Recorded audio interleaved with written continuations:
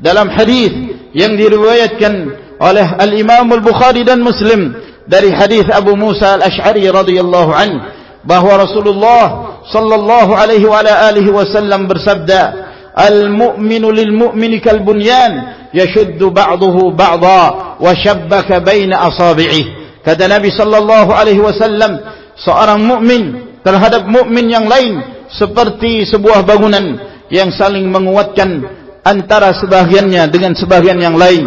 Sambil Nabi sallallahu alaihi wasallam menyelami jari jemarinya antara satu dengan yang lainnya.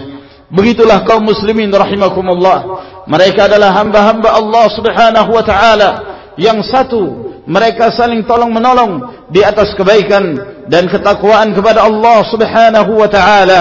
Allah azza wa jal yang memerintahkan mereka untuk senantiasa saling tolong menolong saling bahu membahu dalam perkara-perkara yang mendekatkan diri kepada Allah subhanahu wa ta'ala.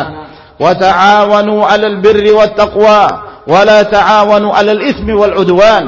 Hendaknya kalian tolong menolong dalam kebaikan dan ketakwaan